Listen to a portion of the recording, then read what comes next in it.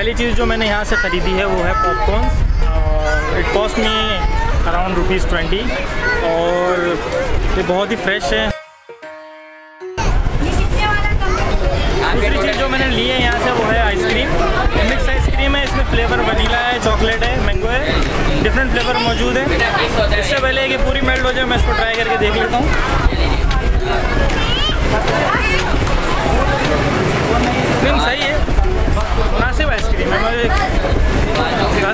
ज़्यादा ना बुरी और मेल्ट बहुत जल्दी हो रही है। आए तो हम यहाँ आइसक्रीम पचास रुपये की है, इसका साठ रुपये वाला भी कौन है? पचास वाले भी है। वो आप कप में भी ले सकते हैं, कौन में भी ले सकते हैं, ये आपकी चॉइस तो आए तो ये आइसक्रीम ज़रूर ट्राई करें अच्छी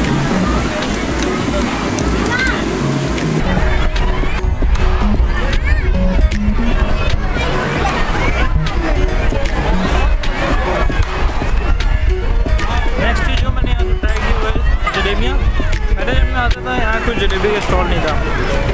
जब आया मुझे एक जलेबी का स्टॉल था तो मैंने इसको ट्राई करना था। जलेबी बहुत ही फ्रेश जलेबी है। घर जैसा टेस्ट दे रही है, जैसे घर पे हम लोग बनाते हैं। और इतना ज़्यादा शीरा है, और अच्छी जलेबी है। मस्त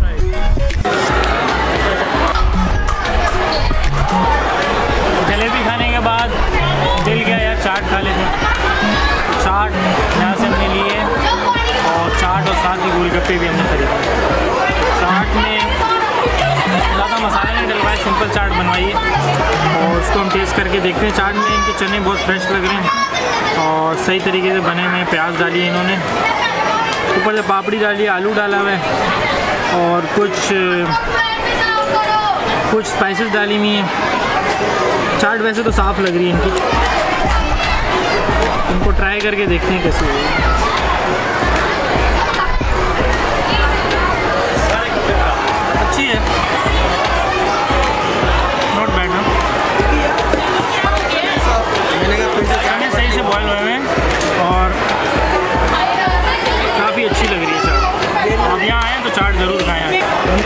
ट्राई करके देखते हैं ना। पानी इतना स्पाइसी नहीं है अच्छा है।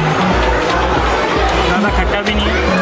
तो पानी और पूरी का कम्बिनेशन जल्दी है मुझे गोल गप्पे और चाट खाने के बाद मैंने ट्राई किया है यहाँ के चिकन रोल चिकन रोल का साइज़ तो देख लें, छोटा सा ही है। और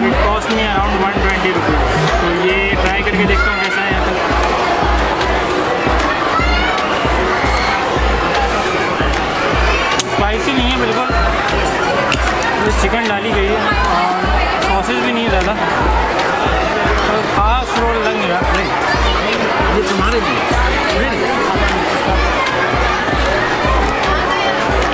ओवरऑल आप कहा जाए तो ये रोल अच्छा है।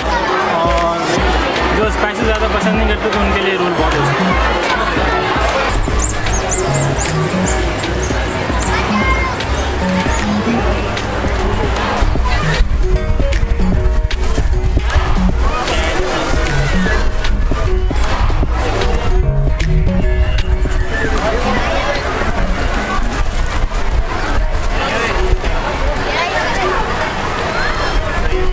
आज जो मैंने यहाँ से आखिरी चीज़ जो ली है, वो यहाँ की यूनिकनेस है बहुत। और टर्नैंडो पटेटोज है ये। पचास रुपये की रेगुलर स्टिक है जम्बो स्टिक इनकी अस्सी रुपये तो ट्राई करके देखते हैं कि कैसी ये। ना भैया थैंक यू तो इसको खा कर देखते हैं।